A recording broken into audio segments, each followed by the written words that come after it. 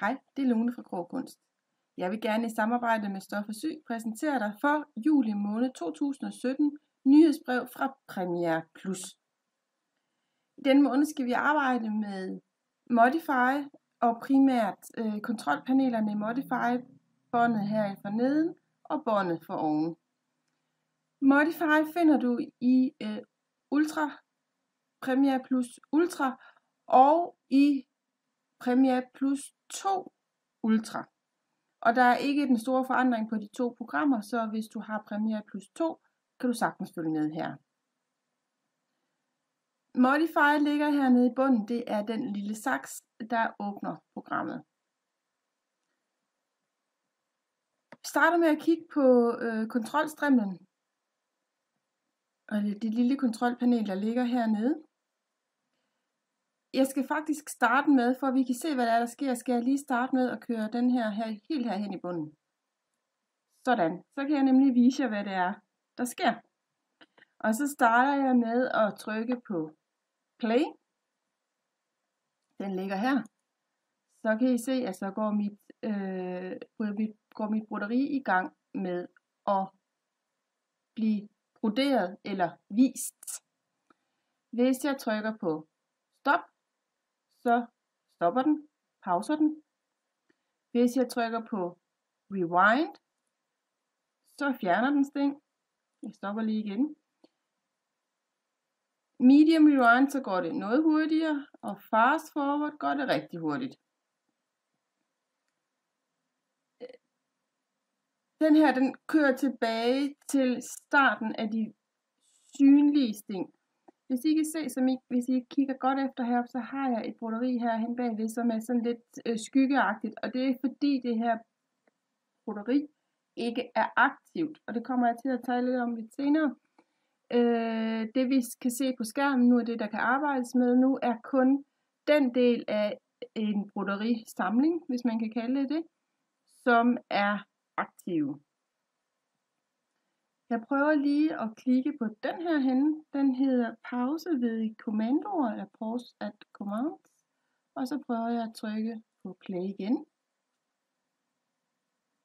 Og jeg prøver at trykke medium play, så går det lidt stærkere. Og jeg kan se, fik I et tie off. Der startede, eller stoppede den, holdt den lige en lille pause. Ved der kommer en lille pause igen, og så kører den videre. Og nu kan den så køre rigtig stærkt. Og stopper igen. Jeg kører lige ned til almindelig play, så vil I også kunne se, at den holder en lidt længere pause. Næste gang der kommer et en kommando. Men den stopper ikke fuldstændig op, den holder bare lige en let pause. Den næste kommando vil så blive et color change, tror jeg. Den kom der. Og så starter den igen med en ny farve og en ny kommando. Så har jeg mulighed for her at køre helt til enden af de sting, der bliver arbejdet med, der er visuelle. Så så kører den jo helt hen til enden, og på samme måde kan jeg køre helt tilbage her. Så har jeg her henne øh, en rigtig smart funktion, synes jeg. Draw Previous og Draw Next Color Block. Her kan jeg simpelthen gå ind og hente en farveblok af gangen.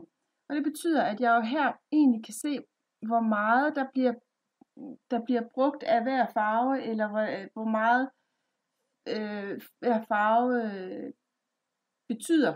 Altså jeg ser kun én enkelt farve af gangen. Outlinen, det inderste af blomsterne, midten af blomsterne, sommerfuglene. Øh, og så kan jeg gå tilbage igen. På den her måde har jeg hver enkelt farveblok isoleret. Så hvis jeg nu skulle ind og redigere noget, jeg gerne vil have fjernet noget af det der sommerfugl, jamen så kan jeg gå ind og fjerne det nu, fordi det er meget nemt.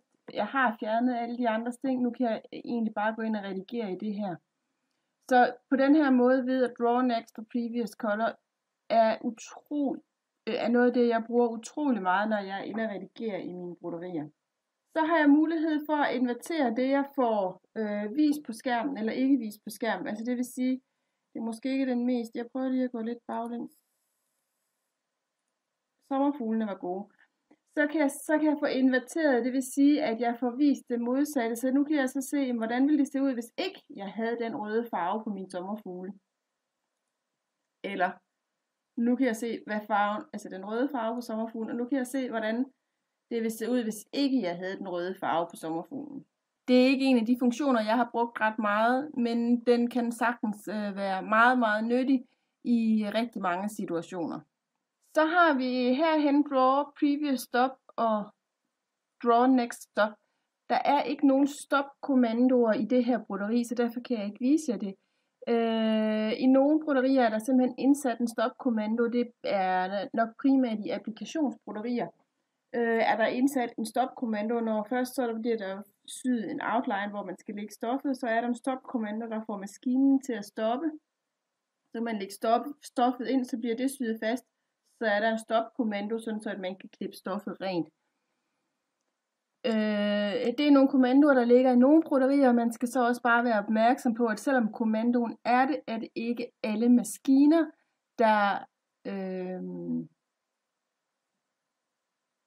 overholder de her kommandoer. Det er ikke alle maskiner, der kan læse de her stop-kommandoer.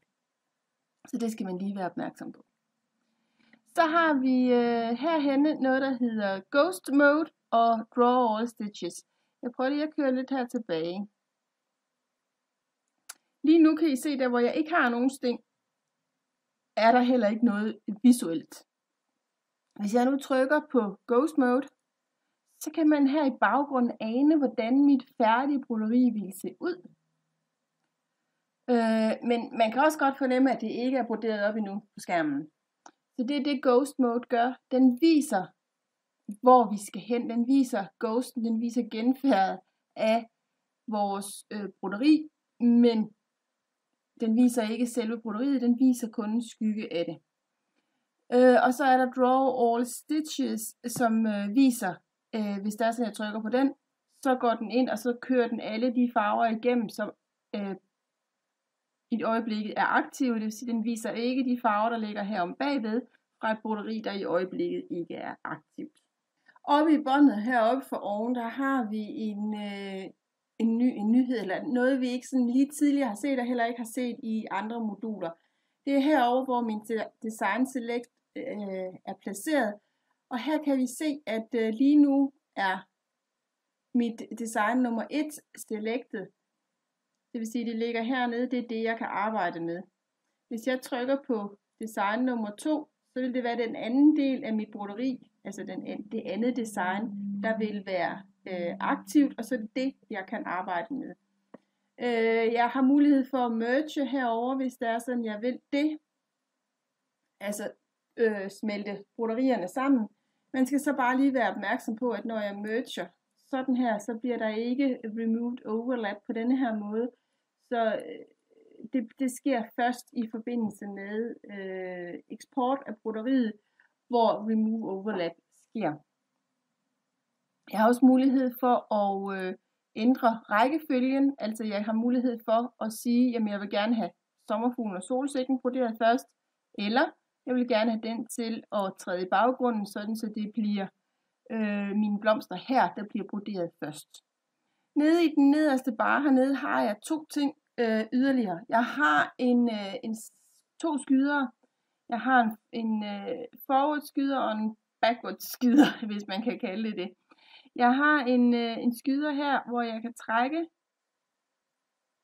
hen igennem stingene. Den vej. Og jeg har mulighed for at trække sting den anden vej. Og på den måde har jeg mulighed for at isolere nogle ganske få sting i hver sin retning.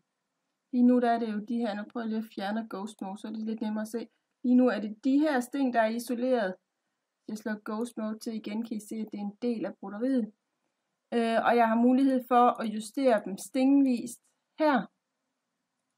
Og den anden vej her. Så jeg har simpelthen mulighed for at styre øh, mine sting meget, meget præcist Og hvis jeg så siger, at jeg vil meget gerne have lige præcis de der ting fjernet, jamen så markerer jeg dem, og så deleter jeg dem, og så forsvinder de der ting. Lige præcis de ting. Og så kunne I se, at så rykkede mine skyder sig sammen hernede. Og øh, begge mit øh, stingantal står nu på det samme, fordi jeg jo har fjernet stingen imellem den ene og den anden skyder. Og det betyder jo så, at når det er sådan, at jeg så er færdig, så får jeg et hul i min blomst. Det er så, hvad det er, fordi det var lige præcis det, jeg gerne ville, hvis man kan sige det på den måde. Det var det, jeg gjorde. Jeg fjernede et, en bestemt mængde af sting. Det var øh, slut for juli nyhedsbrev videooversættelse i min fortolkning. Jeg glæder mig til at øh, vende tilbage med øh, august måneds nyhedsbrev på et senere tidspunkt. Rigtig god fornøjelse med jeres Premiere Plus og Premiere Plus 2.